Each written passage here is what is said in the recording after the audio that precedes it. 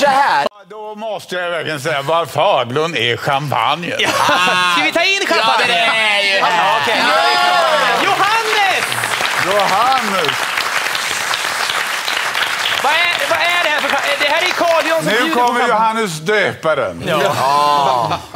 Vad är det för champagne du, du bjuder på, Carl Jan? Biresh, och det är en liten butikschampagne som bara är 9 hektar och ingen industrichampagne. Skål! Men, vänta, du får inte dricka första klunken Nej. helt normalt. Du måste nu visa hur man njuter Ja, av den här första just det. klunken på det optimala sättet. Tips till alla wannabe sommelierer där ute i landet. Vad man gör först, det är ju att man tittar lite grann på den här och då vill man se om det är konkaviserar, om det är en gloria ovanpå och så tittar man in mot centrum. Vad är gloria ovanpå? Jo, det är liksom att du sitter så blir det en ytspänning på Vad har man insidan av armen till i den här ekvationen? Förstår jag inte. då, titta mot det vita.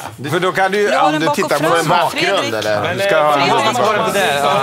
Vad hade du det? Framför? Ja, jag förstod inte riktigt. Ja, men förlåt då. Och då kan ni se att det är ytspänning och då ligger en liten gloria ovanpå.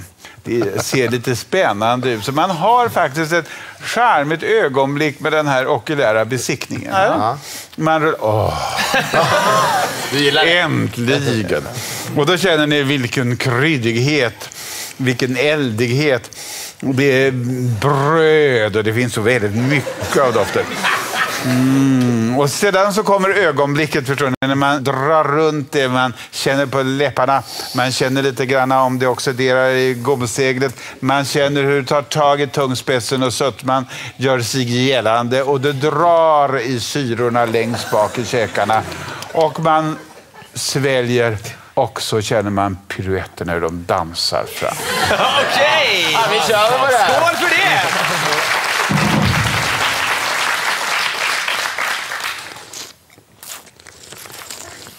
Det! Mossigt.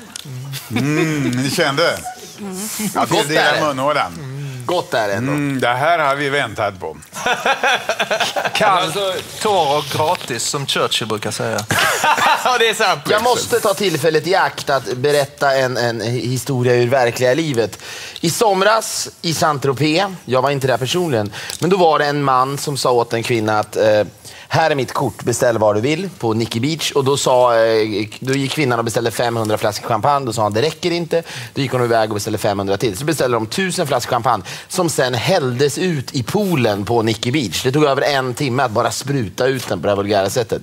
Ja, det är fånigt, det ska sprutas i munnen. En sak. Rysk. Jag tror, jag tror att, jag tror att Carl var ytterst medveten om så att säga, Nej, det det, dubbelbottnade i det han sa. Ska vi göra så att vi säger skål och medan vi njuter av den här eh, förnämliga drycken så kollar vi på veckans macka? Det tycker jag vi gör.